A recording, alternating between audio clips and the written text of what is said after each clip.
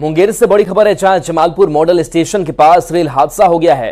सिंटिंग के दौरान engine Daryl हो गई। इंजन के तीन पहिए पटरी से उतर गए। मौके पर रेलवे अधिकारी पहुँचे हुए हैं। लाइन नंबर तीन पर ट्रेन परिचालन ठप है। तो मुंगेर से ये बड़ी खबर, जहाँ सिटिंग के दौरान इंजन डिरेल हुई है।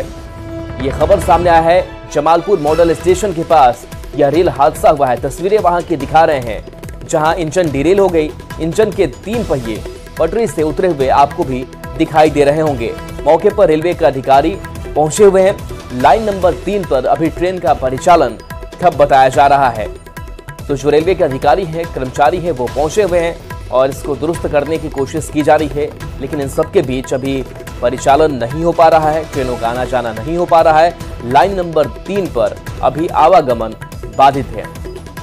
तो तस्वीर जहाँ देखिए, लगातार मरम्मती का और का इसको दुरुस्त करने का काम जो है, वो चल रहा है। इंजन के तीन पहिए पटरी से रेल हो गए और इस हादसे के बाद से रेलवे अधिकारियों का जुटान यहाँ पर मौजूद है। मुंगेर से खबर, जहाँ जमालपुर मॉडल स्टेशन के पास यह रेल हादसा हुआ है। बताया जा रहा है कि सिटिंग के दौरान जा रही इंजन डिरेल हो गई इंजन के तीन पहिए पटरी से उतर गए। हालाँकि किसी की कोई हताहत होने की खबर नहीं है। आ, लेकिन रेल का परिचालन जो है अभी भी बाधित बताया जा रहा है। लाइन नंबर तीन की अगर बात करें तो यहाँ पर ट्रेन परिचालन ठप है लेकिन तस्वीर आप देख पा रहे होंगे। कोशिश कवायद चल रही है। अरुण शर्मा हमारे साथ न्यूज़ एटीन संवाददाता।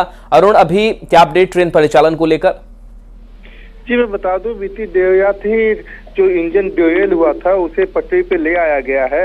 उसके पास जो परिचा, परिचालन जो है स्टार्ट हो गया है। ये बताना चाहूँ कि ड्यूएल के बाद जो है परिचालन बाधित नहीं हुआ क्योंकि दूसरे लाइन से सभी ट्रेनों को जो है अपने अपने समय पे ही भेजा गया था। जी। चलिए शुक्रिया इस अपडेट के लिए आपका। तो देखिए अब ट्रेन परिचालन शुरू हो चुका है। अब दिक्कत नहीं है। ट्रेन के जो चक्के डिरेल हुए थे उसको पटरी पर ला दिया गया है।